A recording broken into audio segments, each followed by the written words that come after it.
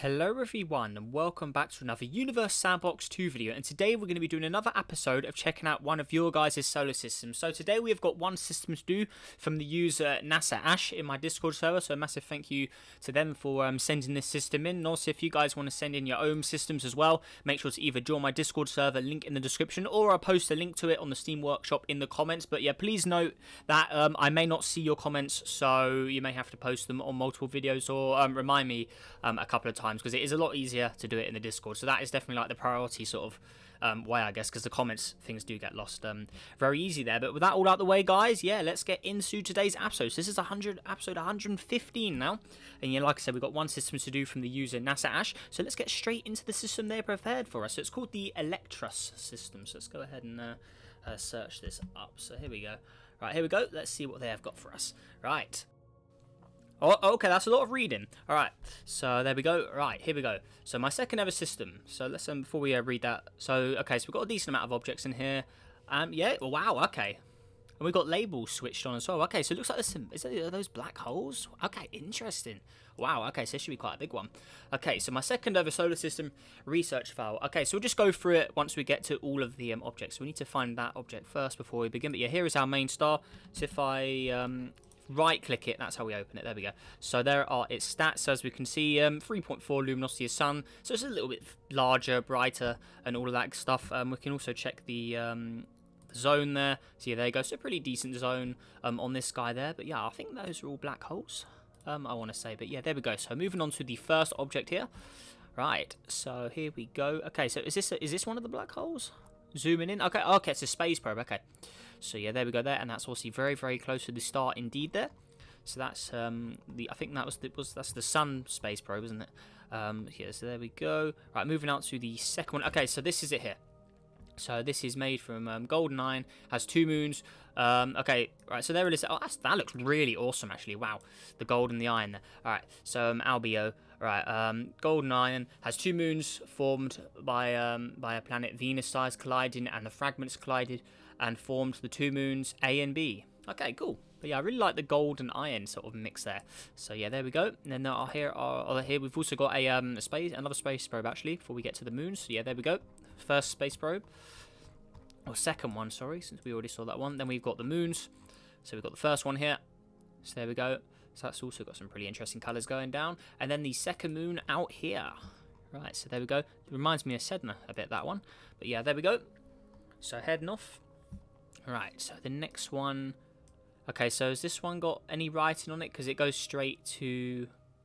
Oh, no, never mind. So, yeah, we got this one now. Okay, so, um... Okay, yeah, right. So we've got this one. So yeah, like Venus, it has a thick atmosphere, looking very, very nice indeed. Um, it's a thick atmosphere and a hot surface. This planet suffers from, from a herd of asteroids hitting the poor planet with lots of force, and some of the asteroids um, began to make a ring, and all of the rocks collided one other to, or with one another to form its moon. Uh, to form its moon. Um, so yeah, there we go. And then here is its moon over here. So there we go. I don't want to head to that planet again quickly, but yeah, there is the moon. So that was formed from a bunch of rings. And then there's also another space probe uh, by the looks of it there. And then the planet itself. Let's get a little look underneath that um, atmosphere. So there it is underneath. Oh, that is very exotic coloured underneath. Wow, look at that. So we've got a red and sort of like lavender purple going on there. That's, that's quite an interesting combo with the green, I have to say. So yeah, there we go there. So there is that one. So Manoral. Let's go ahead and close that. Okay, so the next one is Curio. So over here. Right, here we are. So here it is.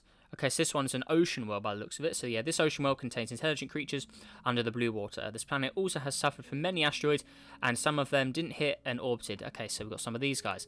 Right, um, although the ones that did not hit caused fragments to fly out, some colliding with one another escaped into the outer system, uh, or outer space, okay. Uh, the ones that collided together formed its moon. Okay, right. So the, this is the moon that was formed here.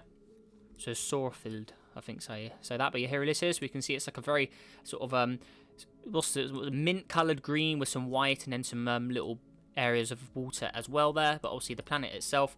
Let's check these stats on this. Actually, I'm interested. So we've got 16 degrees, so pretty um healthy numbers there.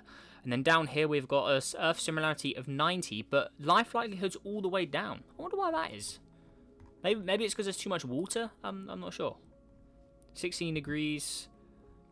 Rotation period's five days. Oh, I wonder why that is. What's the atmosphere pressure? Maybe maybe that's why. Uh, if it's too low, maybe that could be why. I'm interested to see why that's really low. Um, oh, oh, there's no atmosphere. Okay, that's why. I'm pretty sure if we gave it, so say we gave it like an atmosphere, it probably would um, fix that stat. But yeah, that's why. It, that's why there's no life likelihood. Obviously, um, we wouldn't be able to live on an atmosphere without um, an atmosphere. But obviously, it could be life as we don't know it. Maybe it doesn't need an atmosphere. Maybe it just needs water. So um, who knows? Um, so yeah, there we go. So next up, we've got the Curiosity um, 1.0 probe over here. So there it is there. So another probe, orbs in that. And then we also have another object down here, which is a smaller minor asteroid, as we can see. So yeah, there we are. Right, now heading off. And there's some, there's some more out here as well, so we'll quickly um, hover over those two. So there they are there. Oh, it's so cool what asteroids actually look like properly now. Look um, like actual asteroids. Right, okay, so there we go. So we've done those two. And next up, we are heading to this one. So I'm still interested to see what that 1,000 object count. There must be an object with rings in here. Um, at some point. But yeah, anyways, we've got the next one here. So this planet is made from three things: hydrogen, helium, and silicate.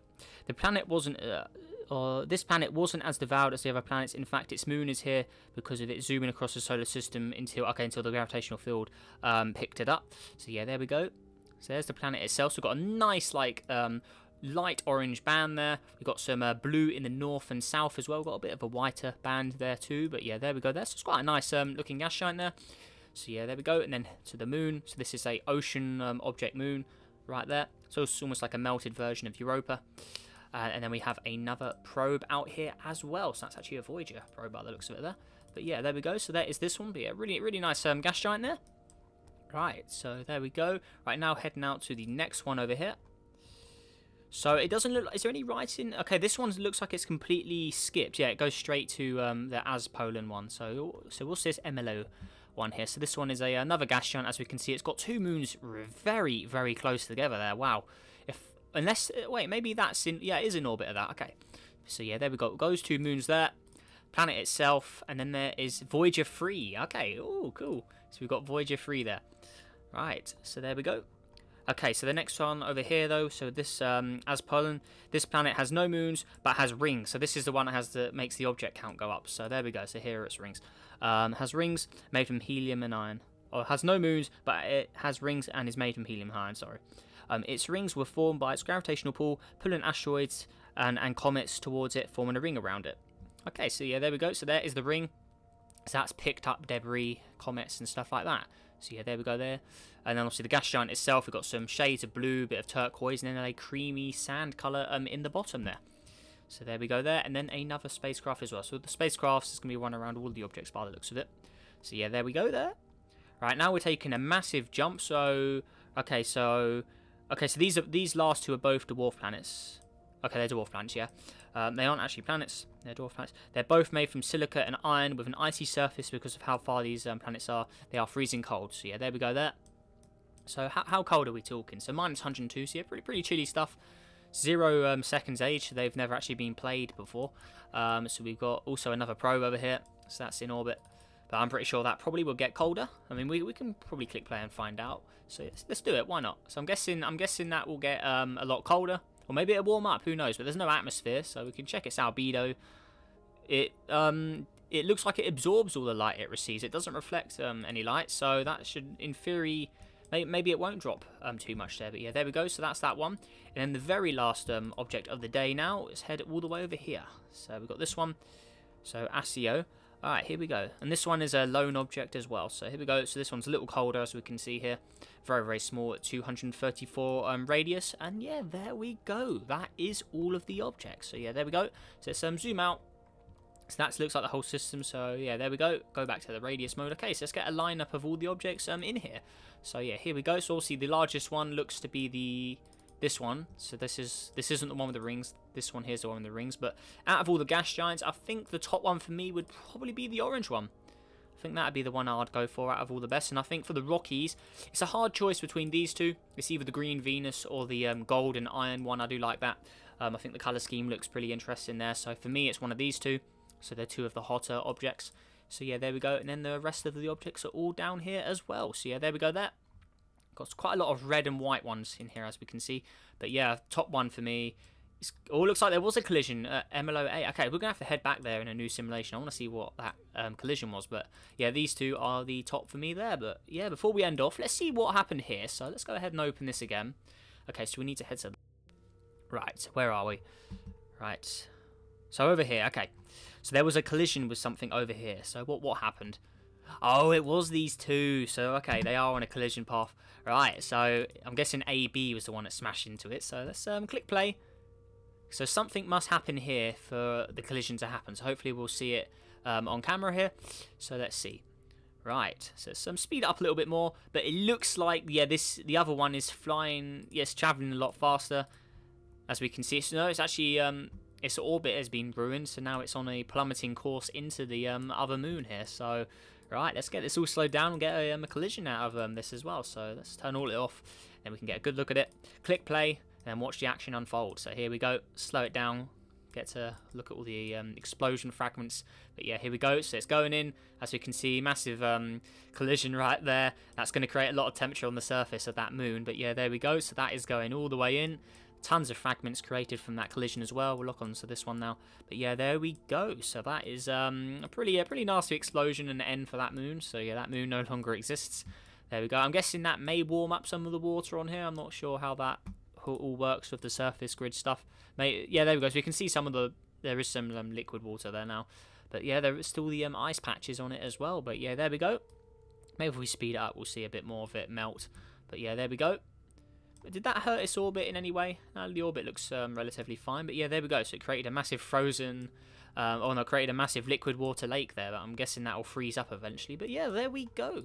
So let's um, let's also check its um yeah, there we go. So we can see the spike of where it was hit. So yeah, 540 degrees right now where that um, collision is. So that must be some pretty hot water right there. But yeah, there we go, guys. So that does it for um, the video today. So yeah, if you like this video, make sure to hit that like button, subscribe for more. Helps on the journey to 13,000 subscribers as well, and also share this video as well. That would mean the world. It's absolutely amazing how far um, we have got now on the road to 13,000. That is absolutely insane. So a massive thank you again. And yeah, I, I, I, really enjoy this. I have to say, it's so so so fun, and I'm glad you guys enjoy it as well. Um, I, I think um, I think we've done a lot of good um, of all these videos. And yeah, it's nice to show off everyone's video or everyone's systems in these videos as well. So yeah, yeah, there we go. So obviously, like I said at the start of the video, if you guys want to um, send your own systems in, make sure to follow the instructions I said by either letting me know in the comments or joining my Discord and uploading it there, which is the easier option. But yeah, with that all out the way, guys, make sure you have a great day, and I'll see you in the next video. Goodbye.